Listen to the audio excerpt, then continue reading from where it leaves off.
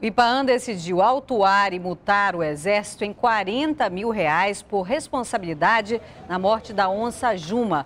O Instituto de Proteção Ambiental concluiu o relatório técnico e decidiu aplicar cinco multas. Uma delas por usar uma espécie silvestre sem autorização do órgão ambiental. As multas estão baseadas na Lei de Crimes Ambientais. O relatório técnico do IPAAN vai ser enviado ao Ministério Público Federal. O dinheiro das multas será destinado ao Fundo Estadual de Meio Ambiente. E a mudança nos dias e horários de visitações aos museus da capital tem afetado o setor de turismo.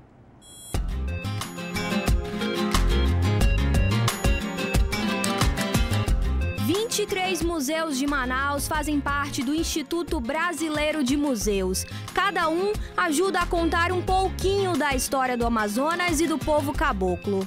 O Teatro Amazonas é um deles. Inaugurado há 120 anos, é um legado do período da borracha. A riqueza de seus detalhes chama a atenção de turistas até hoje. Por isso, é o maior cartão postal de Manaus. Muito bonito, muito bem organizado, bem conservado. Adoramos.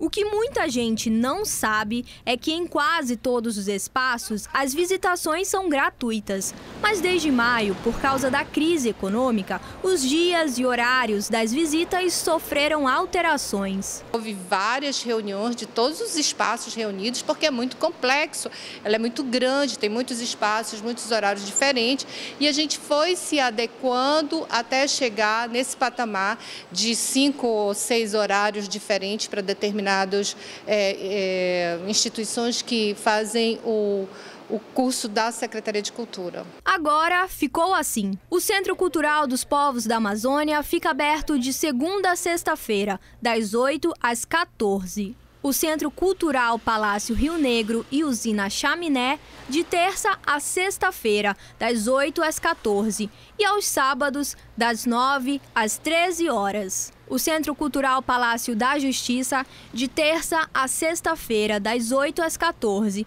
e domingo, das 9 às 13 horas. E a Galeria do Largo, de terça a domingo, das 13 às 19 horas. Já o Teatro Amazonas, fica aberto de terça a sábado, das 9 às 17 horas. E a medida afetou o turismo. É que os pacotes de passeio geralmente são comprados com antecedência e com a mudança, alguns turistas acabam prejudicados. É uma perda muito grande não só para os guias mas para, e para os turistas, mas para a hotelaria, para todo, para todo o trade que depende do turismo.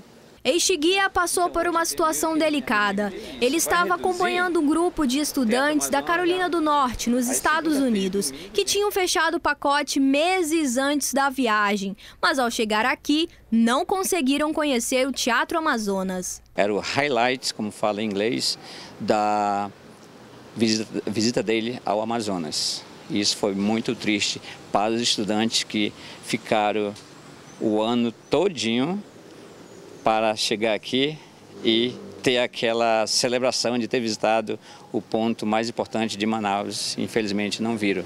As agências de viagens também sentiram um impacto. A gente procura sempre estar sabendo dessas programações, essas alterações de, de programação e passarmos para os clientes com antecedência, para que quando ele chegue aqui ele saiba das mudanças e das alterações, para que ele não se sinta lesado.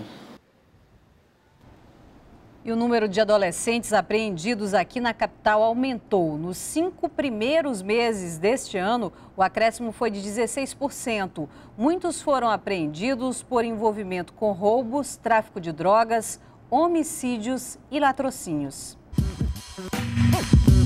Quem são esses adolescentes?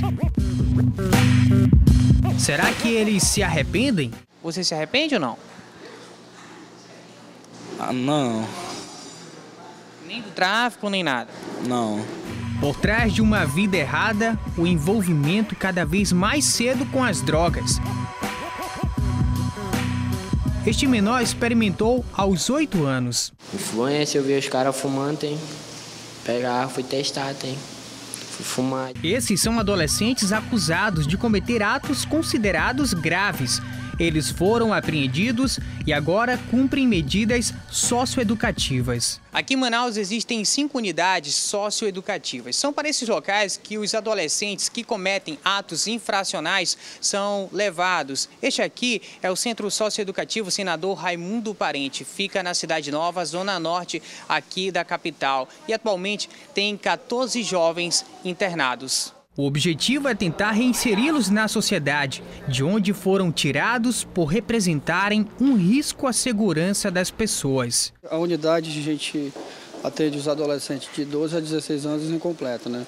Onde tem uma medida dele que é expedida pelo juiz. Mas por que tão cedo esses jovens venderam a infância e a juventude para viver uma vida sem regras. Descontrole familiar associado à pobreza, a questão do recrutamento dessa mão de obra para o dinheiro fácil no mundo do crime organizado, e aqui desponta com destaque a questão das drogas, para mim são fatores absolutamente fundamentais. A polícia prendeu o acusado de matar um administrador no fim do mês passado. Quatro adolescentes também são envolvidos três deles já foram apreendidos. Pois é, e casos desse tipo estão mais comuns. Segundo a delegacia especializada em apuração de atos infracionais, no ano passado aqui foram registrados 2.664 menores infratores. Neste ano, de janeiro a junho, o número chegou a 1.434. Se nós fizermos um comparativo do primeiro semestre deste ano em relação ao de 2015, há um acréscimo de 100 102 menores infratores. O aumento nos primeiros cinco meses do ano chegou a 16% e muitos jovens são reincidentes. Acompanhamento existe. Agora, será que o acompanhamento está surtindo efeito? Se não está surtindo efeito, a gente tem que tomar algumas medidas para evitar que esse adolescente volte novamente para a delegacia e fique nesse ciclo vicioso. Muitas vezes não tem acesso a uma alimentação adequada, não tem acesso a emprego, a família está numa situação vulnerável, né? E a gente sabe que hoje os benefícios de transferência de renda, eles nem, nem sempre são suficientes para sanar aquela problemática. Este adolescente que já cumpriu medidas socioeducativas por roubo assassinou o próprio primo. O motivo? Depois que a vítima mexeu com a namorada dele. Tinha uma faca em cima da casa da minha tia, eu já tinha pego aquela faca.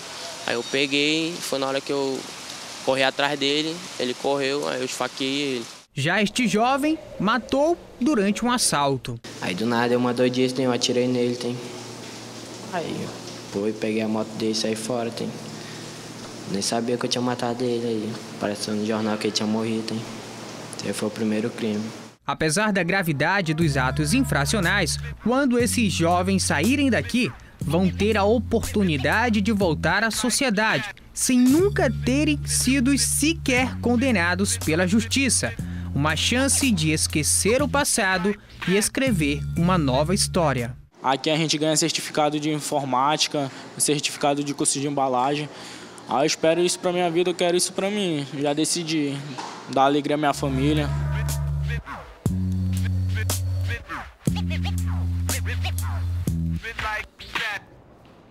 Jornal em Tempo volta amanhã, 18h15. Boa noite.